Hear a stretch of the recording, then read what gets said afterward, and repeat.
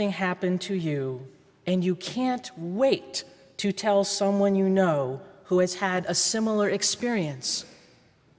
Have you ever been so eager to share what happened to you with someone who has shared the same thing with you? It feels great. It feels great because we are being heard with the heart, truly heard by someone who knows what it is like, someone who has had the same thing happen to them. It's one of the reasons we gather in like groups women, men, transgenders, youth, children, Christians, Muslims, Buddhists. It is why lifelong friendships are formed in support groups for people who have experienced the loss of a loved one, for people with cancer, for people who struggle with addictions when we share with each other something the other can understand because they have already lived through it, we are comforted. We are not alone, and we are strengthened. My youngest child left for college, and now I am an empty nester. A friend replies, Oh, when my youngest left the nest, I cried for days. Things just did not seem right. But now I have adjusted and it's okay. How are you coping? We feel relief that though our struggle may still loom large before us, someone else has gone through it and lived through it and is here to help us as we go through it. This is one of the many ways Jesus can help us in our lives because he experienced some of the things that happened to us. He was a small and vulnerable baby, born in a stable amidst barnyard animals because his parents were not given rooms with the people. How often have we felt rejected, perhaps like a second class citizen? Jesus' life on this earth started that way. Jesus' parents celebrated Jewish festivals. They had friends, they had relatives, they lived in a small town. What ordinary human experiences these are religion, relationships, small town life. We know about community, church and friends, and family life, and Jesus knows about them too. And so God gave to this earth God's beloved Son, Jesus. Imagine this Imagine loving a species, us, so much, yet being removed in a way that prevents you from actually knowing by experience the pain and suffering, joy and gladness, the heartaches, the triumphs, the life events, and all that goes with living and breathing flesh. Imagine wanting so much to be available for us that God sacrificed that which is beloved to God. God gave us Jesus so that Jesus could have the experiences of being human. Jesus experienced humanity firsthand so that God could know us better. This is the good news that God so loved the world that God gave God's Son so that we might have abundant life through him. We are heading toward that abundant eternal life, but there is so much that Jesus can offer us on the way, on our journey. Our everyday lives can be made deeper and more meaningful, knowing that Jesus walked the path of humanity just as we are walking it. Sometimes it can be frustrating not to know more about the life of Jesus between his birth and his death. In the canonical Gospels, Matthew, Mark, Luke, and John, maybe a tenth of his life is recorded. What was he like as a toddler? We aren't told. Did he celebrate birthdays like we do? We don't know. Did his parents tell and retell the story of his birth, highlighting the donkey ride, the majesty of the Magi, the appearance of the shepherds? I hope so, but we don't know. But perhaps the mystery itself is a gift.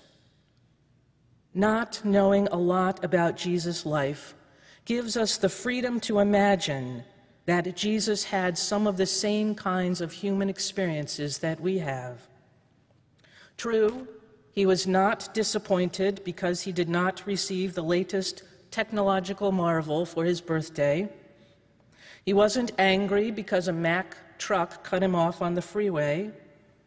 He wasn't relieved because Wegmans stocked the key ingredient for his casserole. But we do know he had experienced disappointment, anger, and happiness.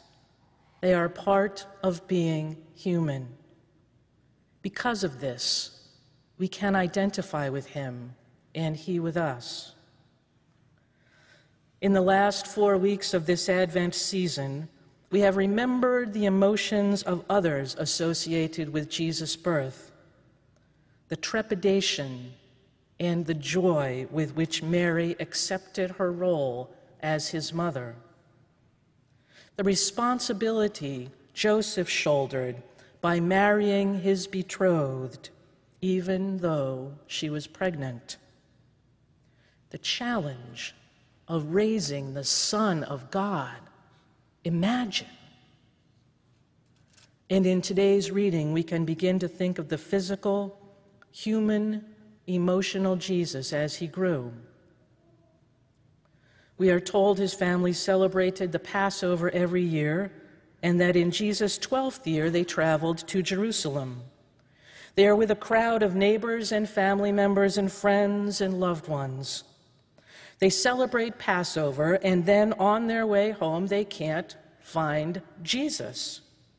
They lost him. Where is he? I thought he was with you. He's not with me. I thought he was with you. Mary and Joseph have been entrusted with this awesome responsibility and they have blown it. I can't imagine what that must have felt like. But the gospel writer tells us Mary was anxious, agitated, nervous, and tense. Because we are not given much information about Jesus' life, we might not think about what happened between his birth and the beginning of his ministry.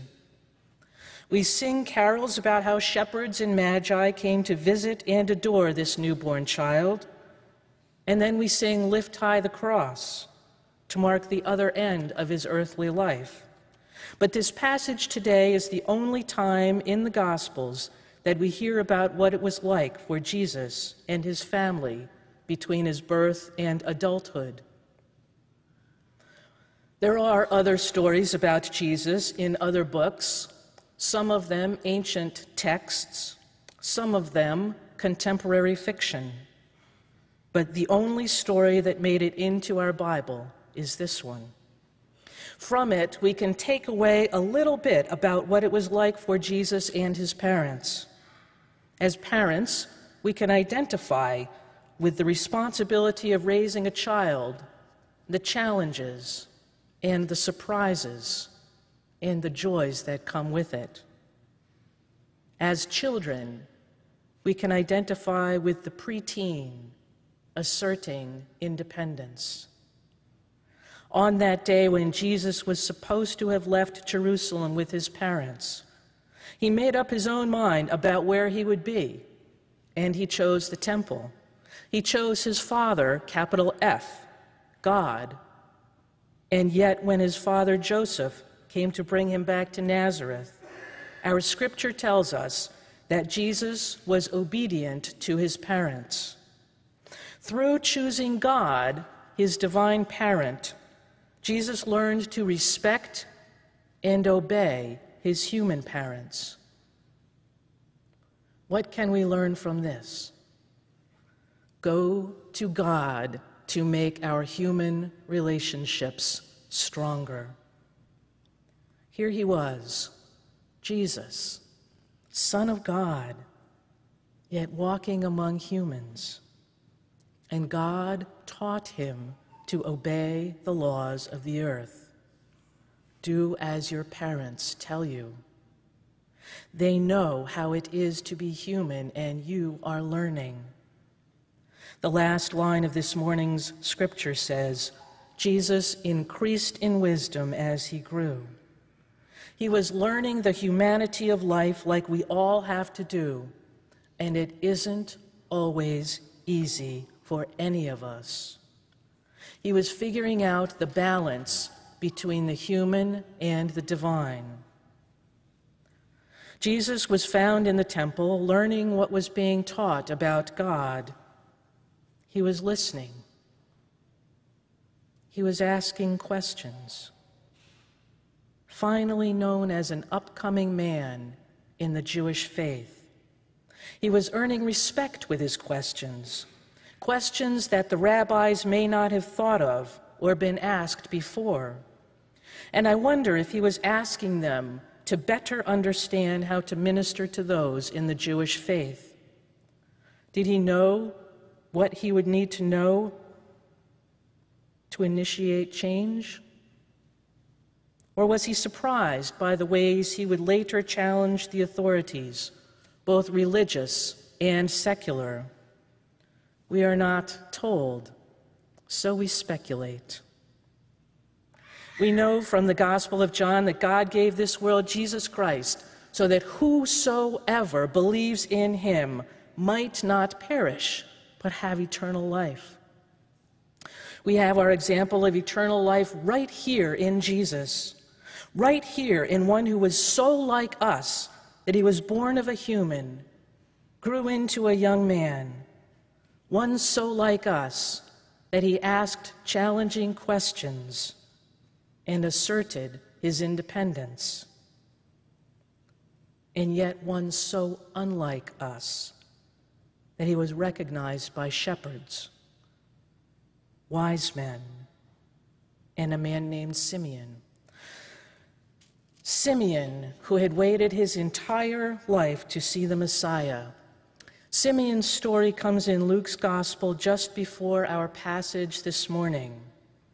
Simeon had been assured by the Holy Spirit that he would not die until he had seen God's Messiah. He does. When Mary and Joseph bring the baby Jesus to be presented for purification at the temple. Anna, a priestess of 84 years, and Simeon are both holy. They pray constantly and are spirit led. In this purified state, each of them recognizes Jesus as holy. By their works, Anna and Simeon have achieved an inner divine state that allows them to see more fully, and they know who Jesus is. They have achieved the inner spiritual peace that comes with deep and prayerful connection with God, a connection that humans can achieve with work, faith, and trust in God. My friends, it is entirely and absolutely worth the work and the patience to become fully spiritual, as we see in the reactions of these two elders and how they embrace the Son of God. We put our trust in God, we work and pray in God's name, and then our eyes are opened widely and deeply in ways we might never have imagined possible. And we see Jesus here among us Anna and Simeon saw Jesus in the temple, and where do we see him? In the streets, with those our society considers lowly.